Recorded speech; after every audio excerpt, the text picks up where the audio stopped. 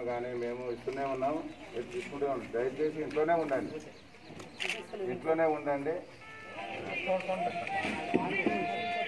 ఇంట్లోనే ఉండండి. వస్తాందానే ముందు దానికి దీనికి సంబంధం లేదు కానీ ఇంట్లోనే ఉండండి. నిత్యావసర సరుకులు ఆల్రెడీ ప్రభుత్వం ఇస్తుంది. అన్ని సహాయ సహకారాలు ప్రభుత్వం అందిస్తుంది.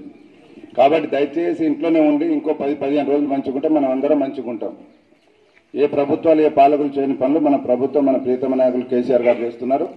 దయచేసి దయచేసి మేము చెప్పనవసరం లేదు. రోజు టీవీలలో మీరు చూస్తూనే ఉన్నారు మాకంటే ఎక్కువ. కొంచెం డిస్టెన్స్ పాటించాలి. మూతికి రుమాలు కట్టుకోవాలి. చేయి సబ్బుతోటి కడుక్కోవాలి. ఇవన్నీ ఇప్పుడు నెల రెండు నెలలు అయింది మనకు చెప్పి చెప్పి. ఓ పాఠం లాగా అయిపోయింది కదా.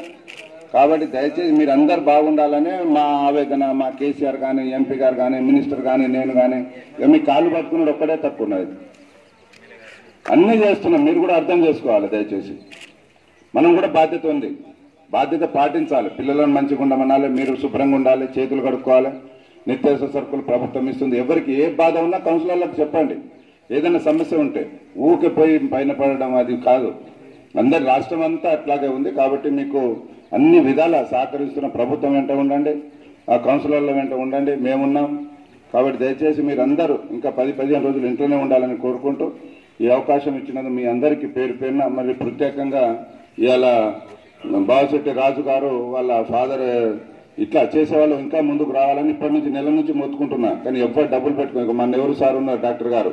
ఎంతో కొంత చేయండి పేదలకు. చాలా మంది చాలా మంది ఉన్నారు కానీ మరి ఏం చేస్తారో అర్థం కావట్లేదు. ఎంతో కొంత చేస్తే పేదవాళ్ళకు ఈ సమయంలో సహకరించి ఆదుకుంటే బాగుంటుంది. వాళ్ళకు కూడా భగవంతుడు చల్లగా చూస్తాడు. మీరందరూ చల్లగా ఉండాలని ఆయు ఆరోగ్యాలతో ఉండాలని ఆ భగవంతుని కోరుకుంటూ ఇప్పుడు ఎంపీ గారు మాట్లాడతారు.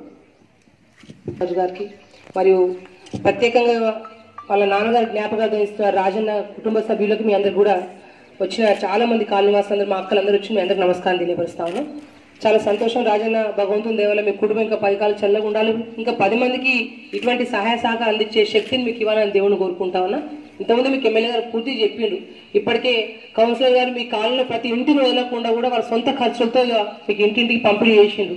మా ఆలోచన ఒకటే ఏంటంటే ఈ విపత్కు టైంలో ఈ ఇబ్బంది టైంలో కూడా ఏదో విధంగా టీఆర్ఎస్ పార్టీ తరఫున మన కార్యకర్త సోదరులు మన ఎమ్మెల్యే గారు మనము ఇక్కడ అందరూ ఏదో విధంగా పేద గరిబోళ్ళకు సాయం చేయాలి ఓ పూటైన భోజనం పెట్టాలని ఒక ఉద్దేశంతో చేస్తున్నాం. కేసీఆర్ గారు ఇప్పుడు గరిబోళ్ళకు పదిహేను రూపాయలు ఇస్తా ఉన్నారు కిల్లర్ కిలోలు బియ్యం ఇస్తారు అది మీ అందరికి తెలిసిందే. ఏదైనా ఇంకా నెల రోజులు జాగ్రత్తగా ఉండి మీకు ఎవరు చెప్పాల్సిన అవసరం లేదు.